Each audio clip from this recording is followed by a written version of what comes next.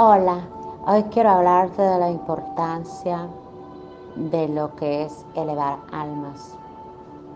Bueno, y en este canal, Hernán ha venido haciendo un trabajo de elevar almas junto con ustedes, lo hemos hecho todos juntos. Pero ¿cuál es la finalidad y la importancia de elevar almas en el mundo? Según el doctor Joe Dispensa, un alma que muere y no trasciende se alimenta de las energías de los seres humanos. O sea, puede que un enojo tuyo, tú solo le estés dando esa energía a un alma que no ha trascendido. Muchas peleas o enojos o emociones que muchas veces posiblemente tú puedas tener, puede que sea posible muchas veces porque hay almas que se alimentan de tu energía, almas que no han podido trascender. Entonces, imagínate, un alma que no trasciende se alimenta de la energía de todos los seres humanos. Entonces por eso muchas veces tú ves que pasan muchas cosas en el mundo. Entonces elevar almas es la cosa más hermosa que puede existir. Yo te voy a hablar según mi experiencia y mis clarividencias que he podido tener en los miles de casos que yo he tenido de ser un canal para que un alma pueda trascender. Todos somos un canal del universo. Yo soy un canal del universo, tú eres un canal del universo, pero cada uno hace una función en el mundo. Entonces, cuando tú haces cosas y usas tus dones que son de Dios, que somos canales, entonces, cuando tú lo haces con un grado de conciencia, cualquier cosa que tú hagas, meditas y lo haces con un grado de conciencia, oras y lo haces con un grado de conciencia, elevas almas y lo haces con un grado de conciencia, apréndete esta palabra, consciente, ser consciente de por qué en este canal elevamos almas entonces, te voy a decir, hablar según mis experiencias. Para mí, lo que es el infierno, o el limbo, o como tú lo quieras llamar, según mis experiencias es esto. Si un alma muere llena de odio, se queda atrapada en una dimensión. Hay diferentes tipos de dimensiones para mí. Todos los casos son diferentes. Yo solo te hablo según a mis experiencias. Entonces, ¿qué es lo que pasa? Que por eso es muy importante las oraciones cuando tú has perdido un ser querido o cuando las personas están muriendo en todas partes del mundo. Es muy importante que nosotros les ayudemos a llegar a la luz, a donde tienen que llegar, a la fuente. Entonces, cuando ya no tienes cuerpo, tú ya no puedes modificar esa emoción.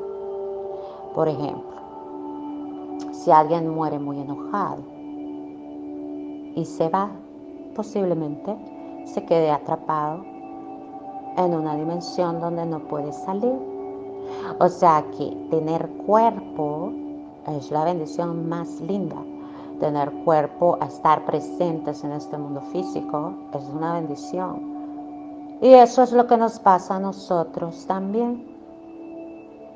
Cuando tú estás odiando, peleando, criticando, o cualquier emoción tú te quedas atrapado en el infierno. Pero nosotros te duele el alma, ¿sabes? Si no veas cómo salir y, y te duele el alma. Bueno, es lo mismo. Pero nosotros tenemos la bendición de cambiar. Tenemos la bendición de pasar de una emoción a otra, de negativa a positiva. Un alma cuando trasciende ya no puede hacer eso. Entonces por eso es muy importante que siempre seas consciente. Está bien, nos enojamos todos, pero ser consciente de que tenemos que cambiar porque no sabemos cuándo nos puede llegar la muerte.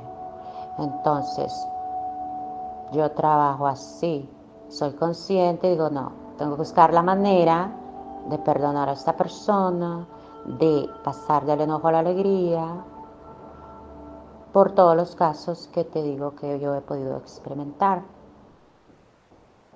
Entonces, es muy importante que trabajemos nuestras emociones para no estar alimentando almas que no han trascendido.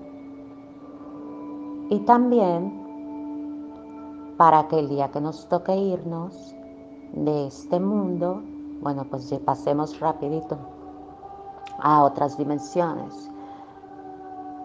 Entonces, lo que te quería también decir es que el miedo y el amor tienen el mismo poder creador. ¿Ok? Entonces, nos han enseñado y muchas veces nos da miedo a morir. Y en realidad, el miedo es una emoción que te puede servir. En un momento determinado, tú miras un tigre que te va a atacar y sales corriendo. No. Pero quedarse en esa emoción es crear cosas también. No sé si te ha pasado muchas veces, oh, no voy a salir porque si salgo, entonces me van a robar. No es que te sales a la calle y te roban. Entonces, el miedo es creador también. Entonces, hay que trabajar esa emoción también y ser conscientes de que cuando nosotros morimos, pasamos, nada más regresamos a la fuente. Pero podemos ser conscientes también de que ese tránsito sea mucho más fácil. Entonces, cuando tú pierdes un ser querido, está bien llorar, está bien que pases tu, eh, tu proceso de duelo, pero no te quedes ahí sino que haz las oraciones de acuerdo a tus creencias y envíalo y ayúdale a llevar a la luz, porque muchas veces nosotros no les ayudamos a las almas a que trasciendan por el dolor que significa el perder un familiar, un ser querido.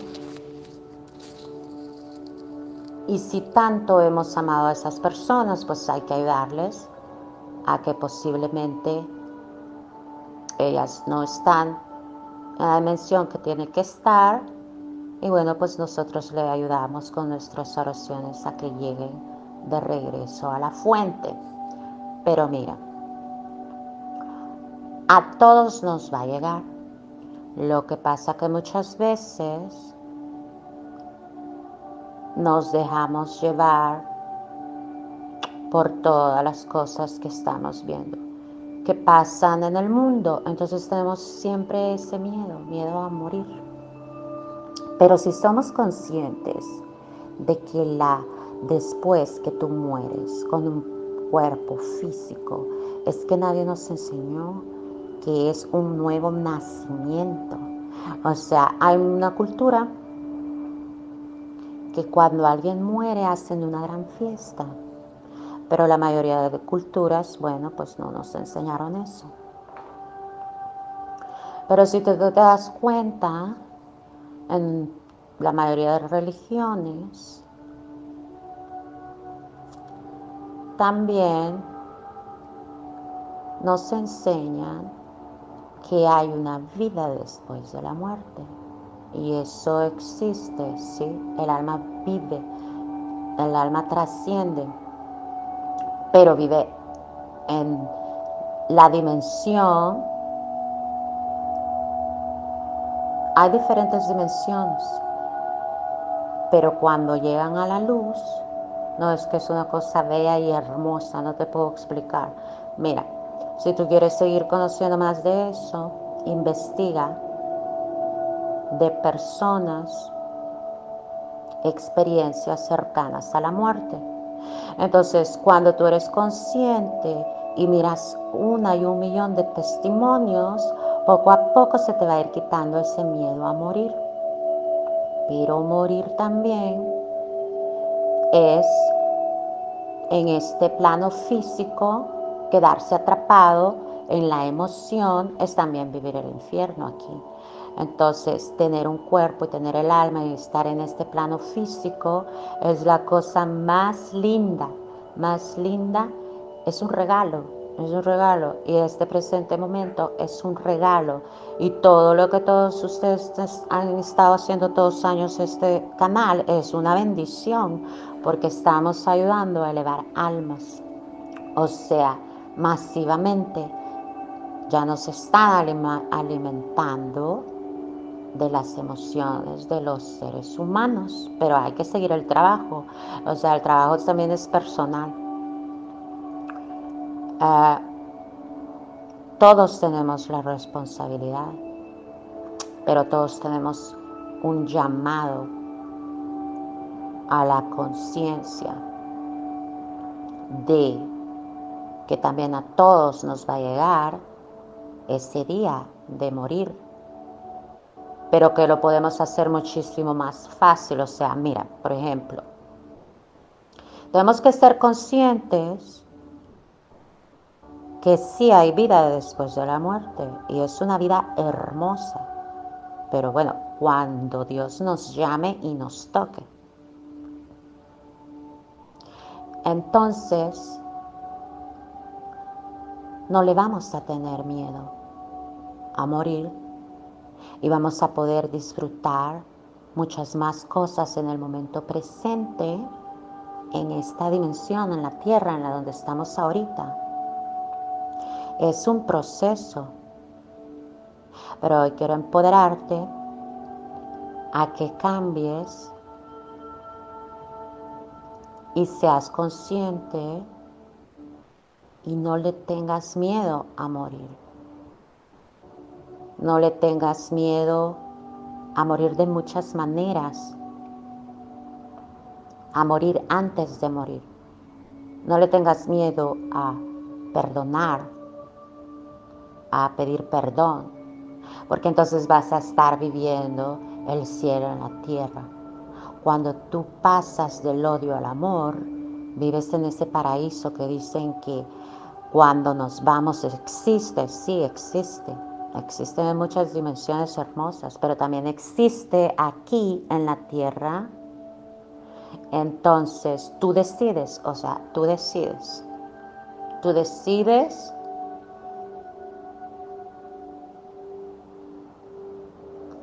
si te quedas atrapado en la emoción o si eres consciente y vas trabajando en ti mismo, porque trabajar en uno mismo es ayudar a la humanidad, es ayudar a la humanidad. ¿Por qué? Porque estamos entrelazados por un fenómeno llamado entrelazamiento cuántico. Los científicos dicen que antes el universo era uno solo y hubo una explosión, el Big Bang, y nos dividimos en partículas. Tú eres una partícula, yo soy otra partícula. Por eso muchas personas orando por una persona, le llega esa energía, aunque la persona esté en China, en Japón, porque somos parte del todo. Entonces, cuando tú meditas,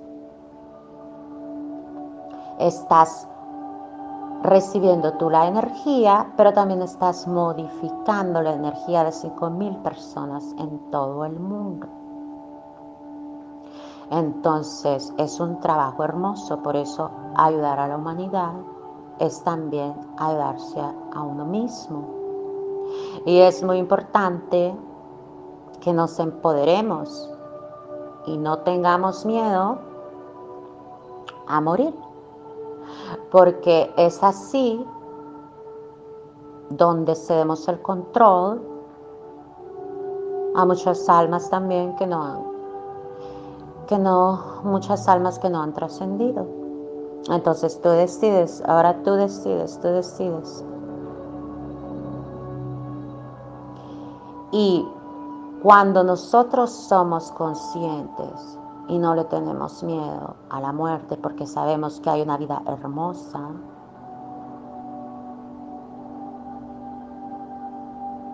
Entonces le quitamos el control a muchas energías de manipularnos.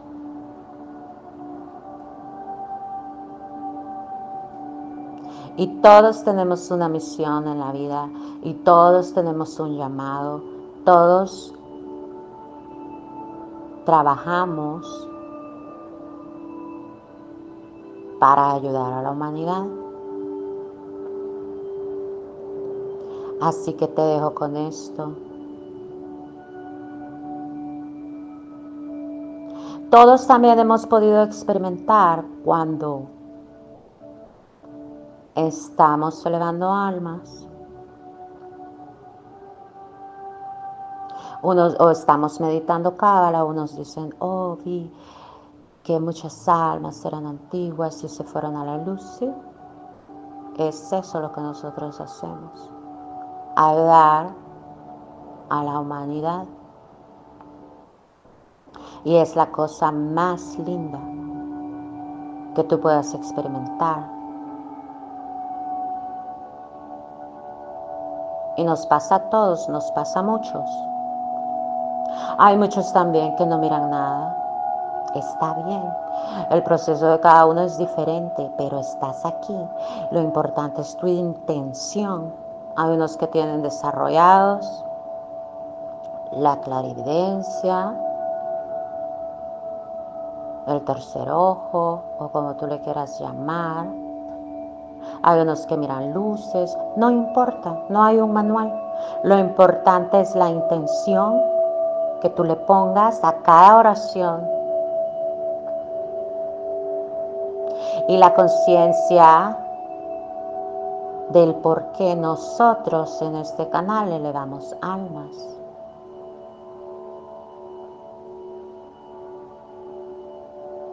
Y la conciencia del por qué tenemos que perder el miedo a morir. Nos enseñaron que cuando nace un niño hay que hacer una gran fiesta. Bueno, pues también cuando morimos, cuando nos toque morir, también deberíamos de hacer una gran fiesta. Porque están pasando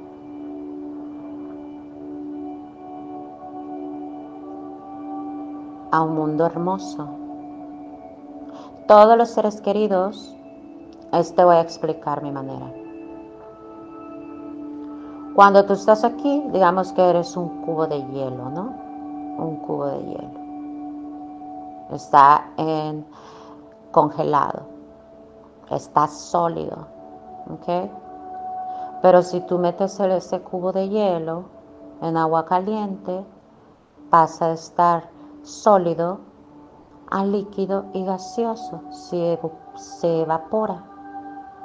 Entonces esa es la alma, pero sigue estando ahí. Entonces, si tú has perdido un familiar o un ser querido, ellos siempre están con nosotros, pero de una manera gaseosa no los podemos ver, no los podemos tocar, pero sí podemos decirle cuánto los amamos y cuánto los dejamos libres para que vayan a la luz. Entonces el dolor que posiblemente te cause haber perdido a un padre, a un hijo, una madre, un tío, un amigo, vas tú también a comenzar a vivir el cielo en la tierra.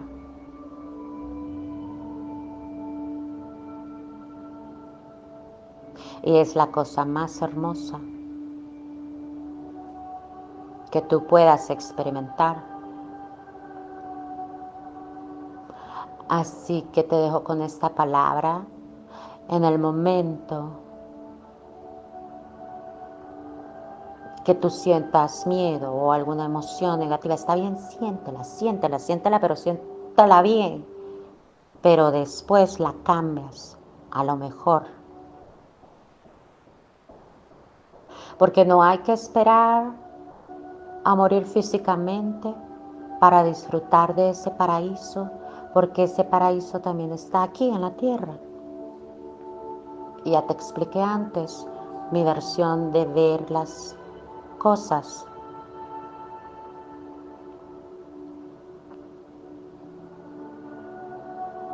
Así que te digo, a ti que estás allá afuera, que has perdido algún familiar y no has podido superar ese dolor, que le hace el Salmo 91 tres veces, como nos ha enseñado Hernán en este canal, y que le digas que lo amas y que eres libre de ese dolor y que es libre y que trascienda la luz.